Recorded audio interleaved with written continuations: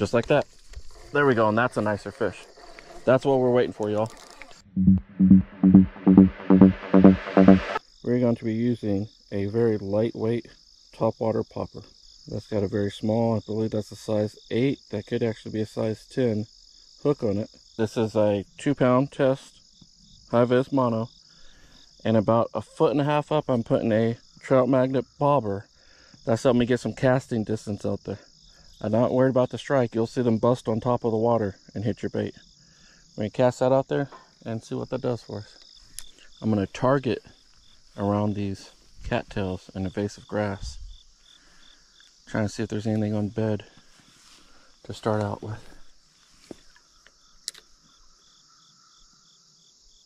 There we go.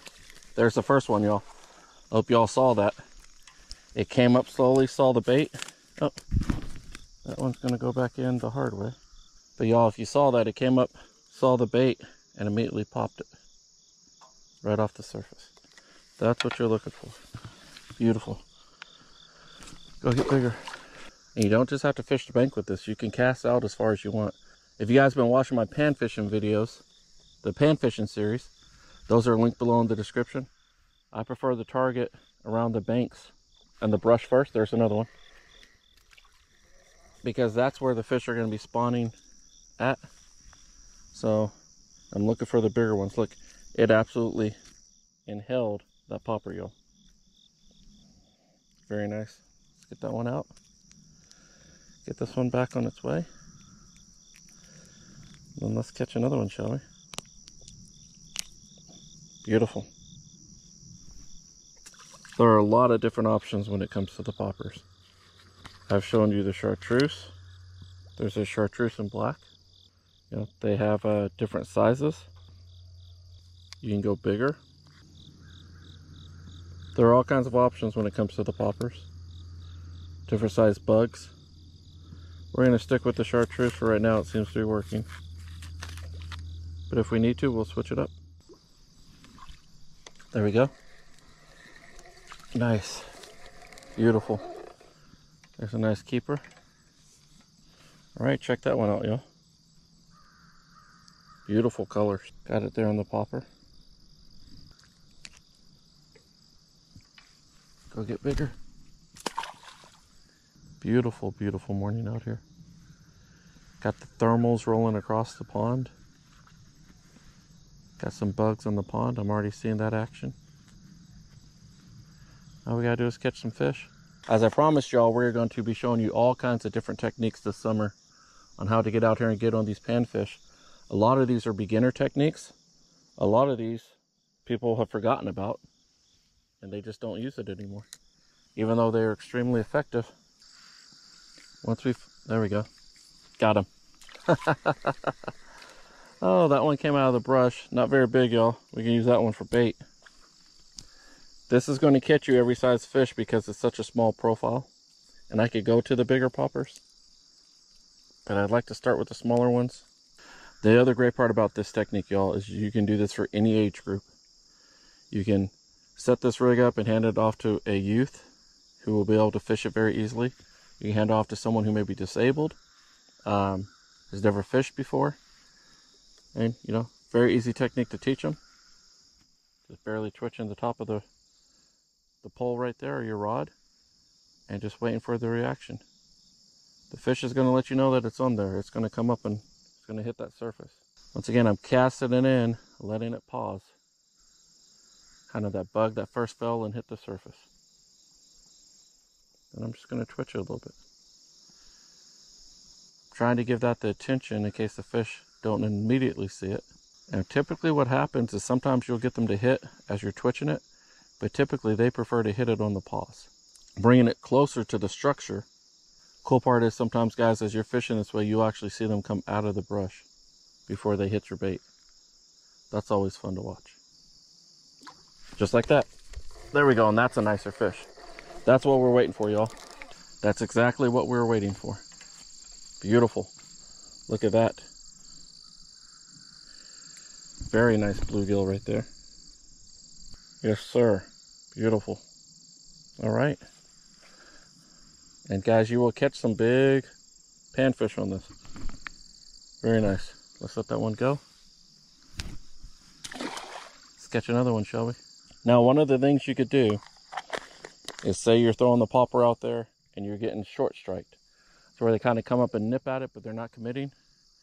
You can take, I like to use the Berkley Power Bait Crappie Nibbles.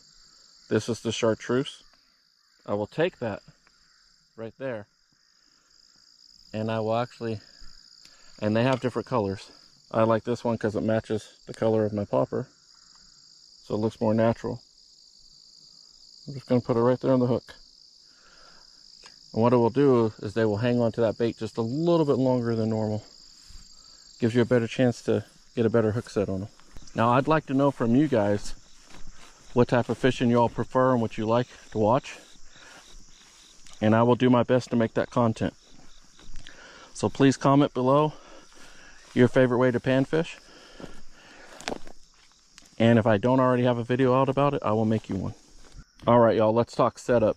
So I am using a Shakespeare Ugly Stik Light Pro, okay? And I got that spool with two pound test. I prefer the uh, Trout SOS line. You could do four pound if you want, okay? That is a Pflueger President reel.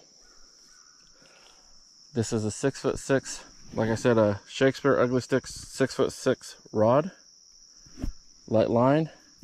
There is our popper. I got that tipped with a crappie nibble in the chartreuse. And we're going that down to a trout bobber. Once again, we're just trying a little uh, light, ultra light action here. A little top water, fun way to fish. If you've never done it, it is super affordable. The amount of fun you'll have fishing this way, y'all, it will become one of your favorite ways to fish. Trying to mimic, once again, a bug falling into a pond or moving across the surface. So you don't want a ton of activity. You just want enough to get their attention. It's almost a perfect spot. I'm in between those willows. It's kind of a basket. There was the first. There we go. Oh yeah, that's a better fish. That's what we're looking for, y'all. Oh, and it came off. Okay, we're to cast right back at that same spot. We missed that one. But we might be able to get the next one that might have been with it. We were in the perfect situation, guys. I think we may have set it right over top of a spawning bed there. Because it only took a matter of seconds for that fish to hit it. Got him. Okay, there's a nice one, y'all. Beautiful. Let's get that one in here. All right, look at that. Oh, there it goes. Let's hope it get back in the water. There it goes. That was a nice catch. Let's get another one. And I'm actually trying to get some bigger bluegills. I want to show you guys how to flay them up the right way. There we go. That's a little one. That would be perfect size for bass. If you're gonna catch some bass. Um, y'all, what we're showing you here with this as well is this is a quick and easy way to get some bait fish caught to put on a hook to catch bigger bass. Got him. That's a smaller one. Oh!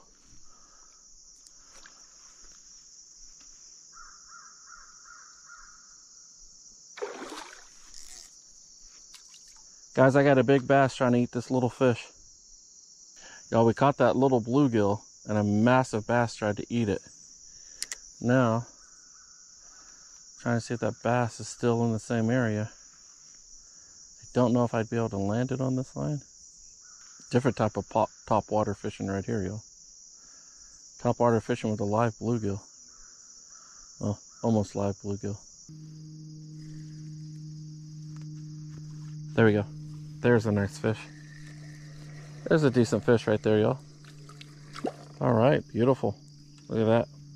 Very nice. Nice, beautiful. Let's let that one go.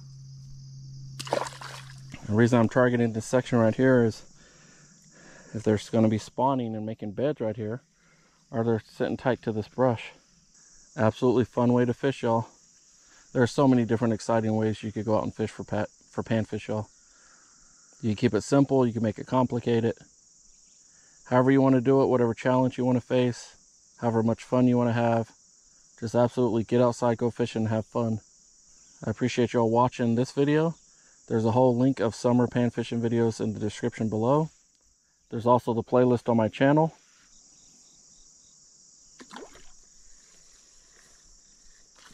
There we go, y'all. Beautiful. Ah! Oh!